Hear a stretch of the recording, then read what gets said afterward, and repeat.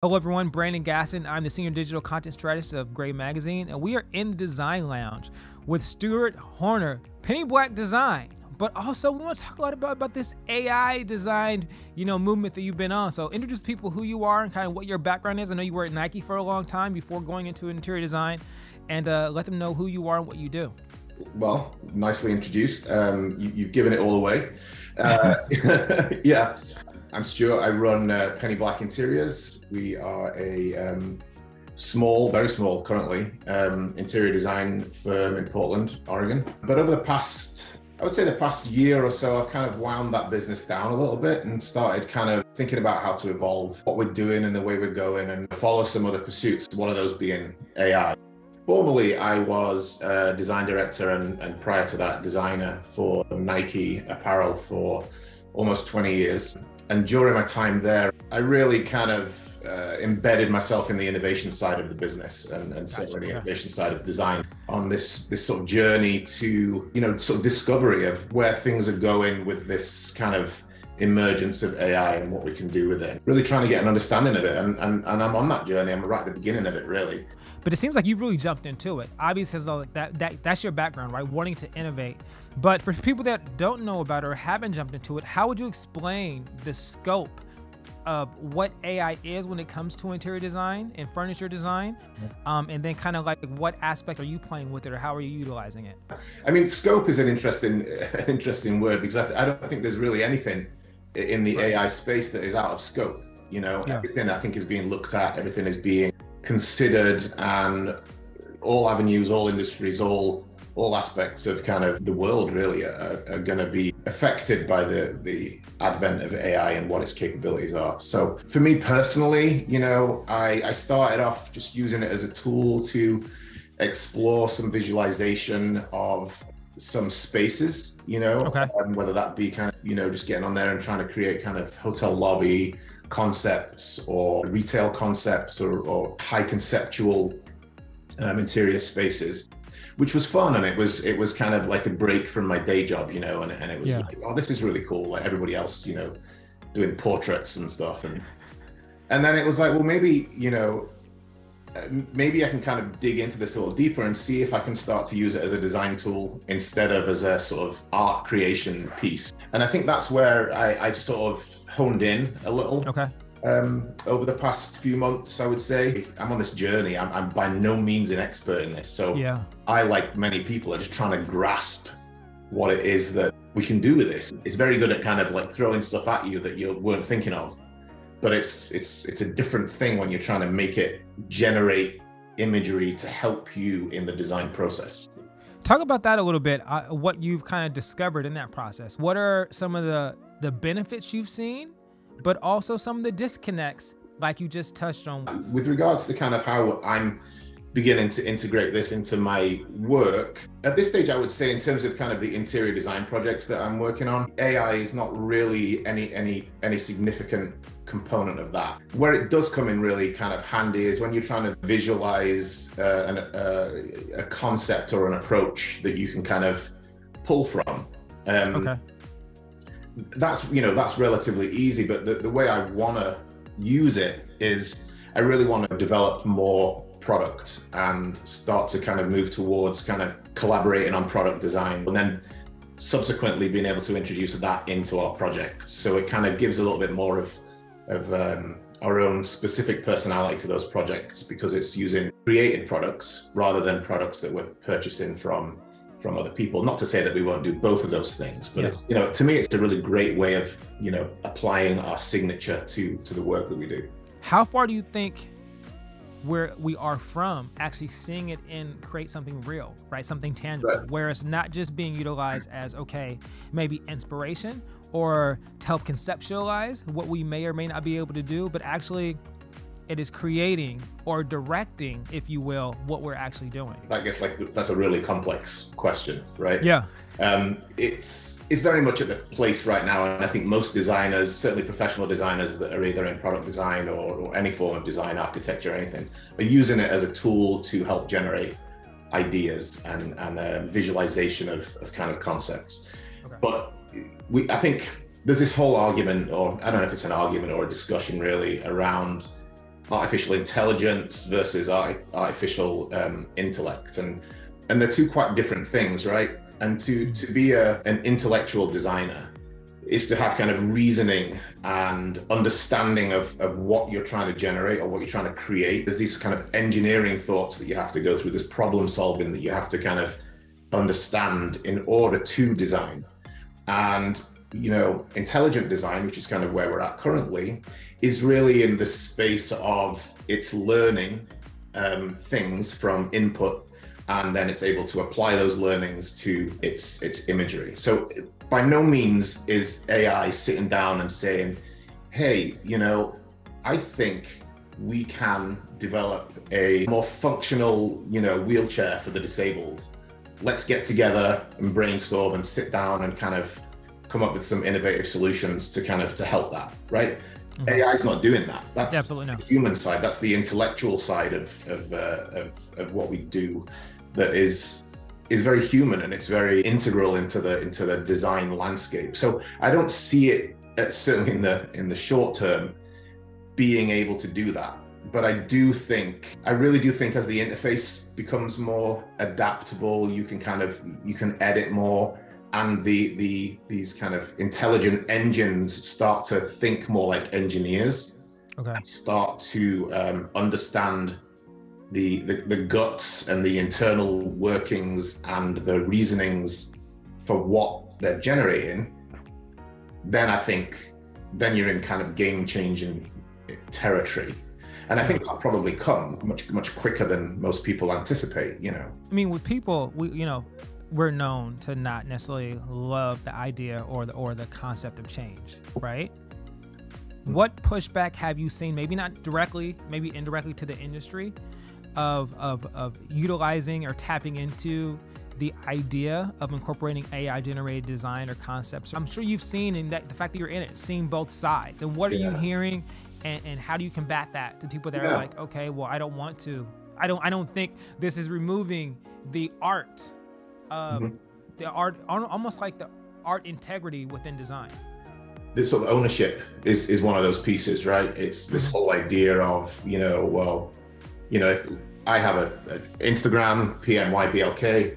Yeah. I post some of my kind of you know early um, AI generated furniture concepts on. I get like quite a lot of negative comments like, well, you didn't do this, AI did this, and, and, and all that kind of discussion, which is valid and understandable but I do think it's a bit rejective of you know the future and, and the way mm-hmm. things are going to be. And I think there's a fear that's being generated around that by by certainly a, a, large proportion of the design community starts to kind of worry about like I've spent all these years learning all this software to do all this stuff, and now Joe Blow down the street can just you know make a make an image look like a fully produced product in yeah. five minutes.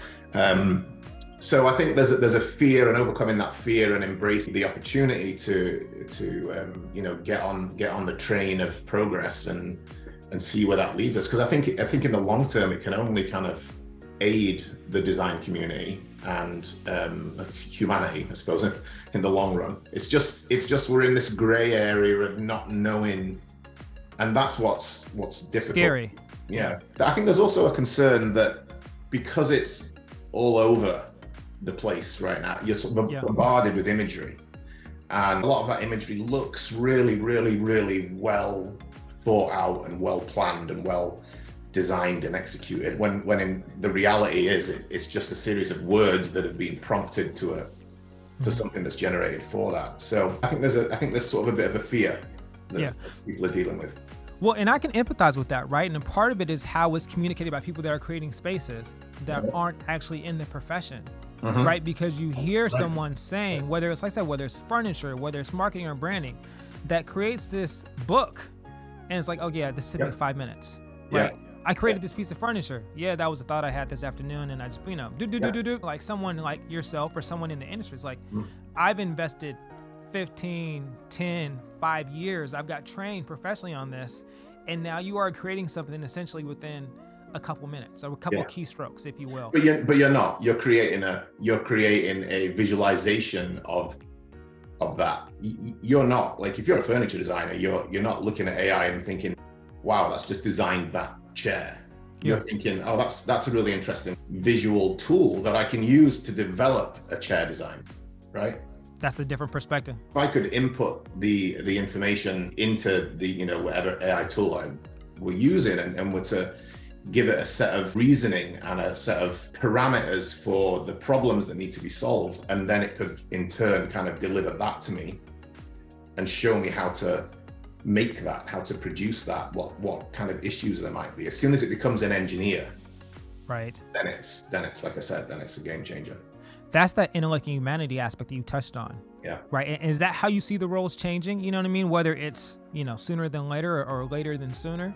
Is that how you see the roles changing of a designer? Is utilizing this as a tool to engineer and build new things that maybe you wouldn't have thought of, you know, before? I think so. I think AI, you know, is is going to be the problem solver of the future. You know, I read something about um, somebody had said like if if if anything that needs to be done can be compressed to a series of instructions, it will be automated in the future. The same could be said for any kind of design output, really. Um, yeah. But the creativity has to come from the decision to do that.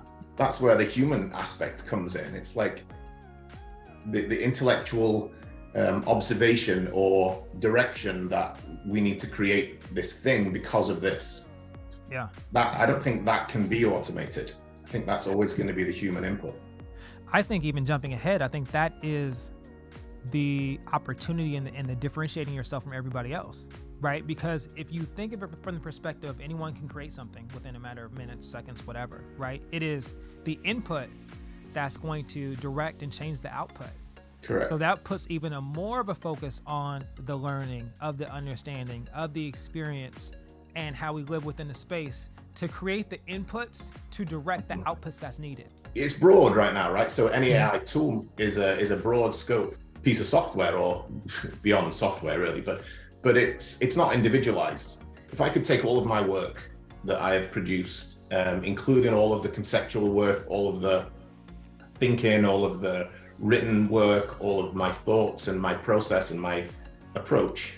And I could kind of build my own personal space within an in, within an AI application. Almost the DNA of, of Penny Black. Yeah, like a DNA of Penny Black. Then it generates based on our own vision of, of what we want to create and and that's much that's much more interesting right? That's that then it starts Absolutely. to become personal. With that being said what what is next for you? I know you've created some furniture designs. How fast are you scaling and moving in that direction? Personally within your practice it's not really necessarily something you're doing all the time. It's more conceptualizing creating ideas. Mm-hmm. but as far as from from production perspective. We've made quite a few pieces of furniture and, and i found the biggest opportunity for us is when we can sort of blend the the two work, blend what we've sort of created and the direction we're going with mm-hmm. some new thinking and new concepts. And then we really get like this kind of this idea of this sort of personalized or or individualized or branded i suppose you could put it product. We i would love we haven't at this point collaborated with anybody. You know i think that would be the first sort of commercial avenue to take would be to sort of you know find the right people that are interested in kind of making something with us and going through the process because it's going to be a very explorative innovative process. To see the journey of an ai collaborated developed idea to become a real thing that's really my my focus right now is to is to okay. see that happen. And i'm not quite sure how we're going to get there.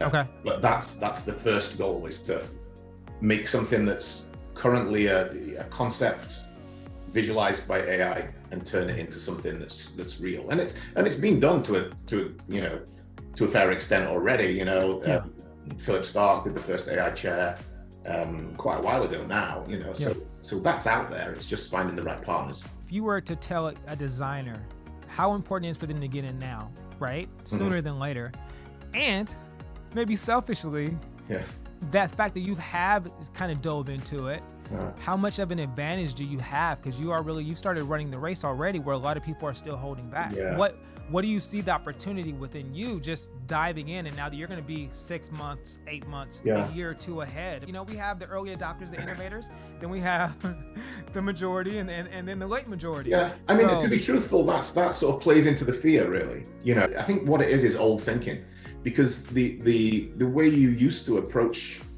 design, um, certainly in terms of kind of professional design, is you know you need to learn the software in order to be able to output correctly so that you get the things done correctly.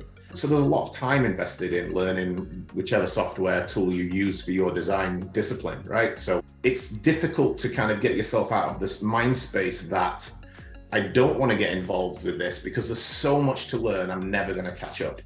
And mm. and it's just not like that. I think anybody could sit down and, and spend, you know, if you spent like even three or four hours really really like churning out some some ideas and seeing where you can get with it you can get some really some really interesting results that that can you know give you the the uh, the urge to see where you can take it and it sort of becomes a little bit of a challenge really it's like can i make it do what i want to do and i start you know i've started you know drawing drawing things out the way i want them to be and and seeing if i can get ai to generate anything close to what i conceptualized on paper.